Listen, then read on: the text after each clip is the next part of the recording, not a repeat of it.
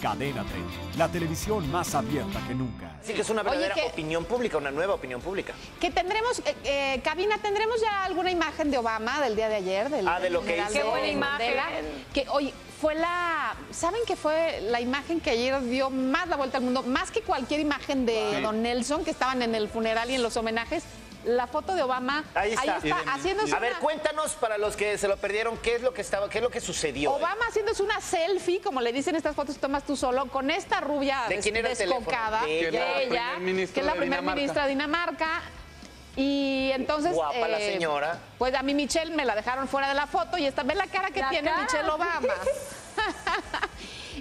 En la otra imagen, donde se- hay otra imagen donde se ve que está Obama muerto de risa con la rubia y Michelle viéndolos, esa, entonces le ponían abajo, su marido trabaja con una rubia, tenga cuidado que la pasó sacando Oh, en las redes. memes. Mira, mira, está saludando. Mira, Y Michelle la cara de... ella está furiosa y él, no sé cómo ni de qué manera, más adelante terminó sentada Michelle en medio de la rubia y de su marido. Pe- Pero hasta se está, por supuesto, marcando territorio, porque la cara que estaba poniendo era ella de, vas a ver ahorita que lleguemos a la casa. Que todo el mundo decía, ¿cómo que Obama en un ver negra". funeral tomándose fotos y no sé qué? Bueno, tampoco estaba en el ataúd tomándose fotos, estaba ahí en un palco por allá arriba. Pues a lo mejor la señora era fan de- relajo del antes del, homenaje. Pues, Ay, era yo no lo veo tan grave como lo pintaron, la verdad. Yo claro que veo a Obama y por favor nos Pues tomamos una foto, ya, no Sí. pasa nada. No, pero la cara es el hombre más poderoso más- del mundo hoy por hoy.